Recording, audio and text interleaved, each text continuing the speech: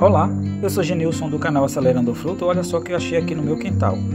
É o sapo cururu, o mais comum na fauna brasileira, e ele possui duas glândulas de veneno na parte posterior à cabeça, ok, abençoados? Tanto do lado direito quanto do lado esquerdo, ok? Então, os sapos se alimentam de aranha, besouros, gafanhotos, mosca, formigas e cupins, ok?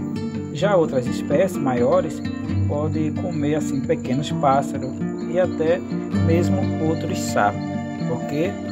Então ele libera essa toxina para o predador não consumir, ou seja, lhe devorar.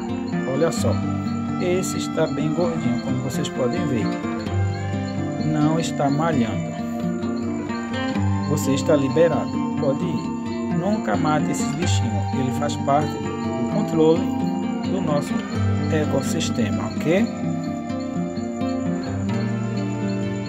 Quero agradecer a todos vocês inscritos no canal e vocês que estão chegando agora também. Se inscreve, deixa aqui teu comentário, eu agradeço também o teu joinha. Já essa aqui é conhecida como a rã-pimenta, apareceu aqui também no quintal. Então, a rã-pimenta, ela possui assim, vamos dizer, um tempero, né? Que nada é agradável, né, de sentir, mas é excelente para assim evitar os predadores.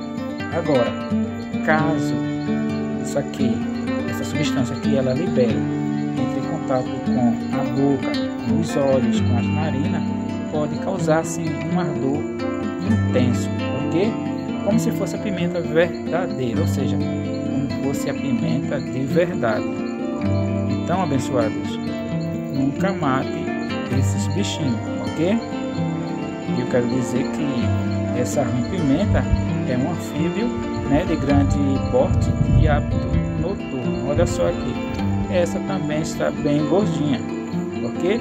E ela se alimenta de invertebrados e pequenos vertebrados, como aves, ok? Isso.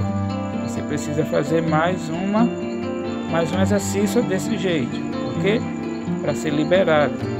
Eu agradeço a todos vocês inscritos no canal e vocês que ainda não são, se inscreve, deixa aqui teu joinha e eu agradeço a todos. Vá na paz, minha querida.